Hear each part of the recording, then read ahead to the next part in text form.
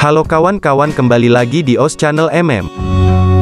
Selain kerap kali disertai dengan nyeri perut ketika datang bulan, ternyata ada juga loh yang bisa mempengaruhi periode datang bulan menjadi lebih buruk daripada yang seharusnya.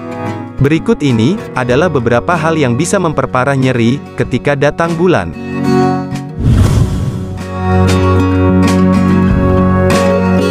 Apabila kamu tidak mendapatkan kualitas tidur yang cukup, maka akan ada banyak hormon stres kortisol yang akan terlepas dari tubuh.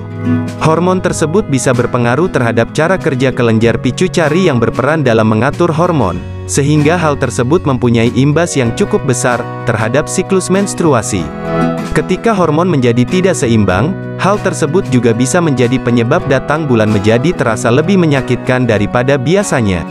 Maka dari itu, kamu harus bisa memastikan untuk mendapatkan istirahat yang cukup, ketika menjelang serta pada saat menstruasi.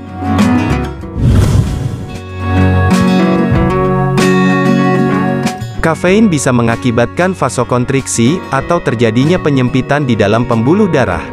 Kondisi tersebut, bisa berpengaruh terhadap berkurangnya suplai darah ke lapisan, dan juga otot yang ada di rahim.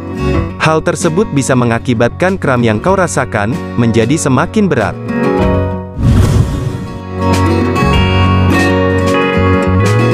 Sangat penting untuk selalu memperhatikan apa saja makanan yang kamu santap selama sedang berada di dalam siklus menstruasi.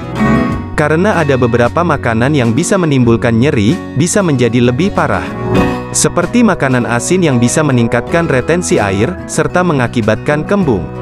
Ada juga makanan berlemak yang bisa meningkatkan produksi prostaglandin, yang bisa mengakibatkan rahim menjadi berkontraksi.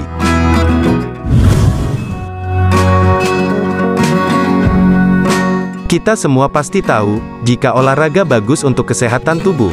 Namun, ketika sedang menstruasi, maka kamu justru harus membatasi olahraga. Karena olahraga yang begitu intens, bisa menyebabkan adanya gangguan menstruasi, serta mempengaruhi hormon yang bisa membuat gejala menstruasi Anda menjadi semakin mengganggu dan juga semakin parah. Jangan lupa tonton video menarik lainnya kawan, dan selalu dukung OS Channel MM.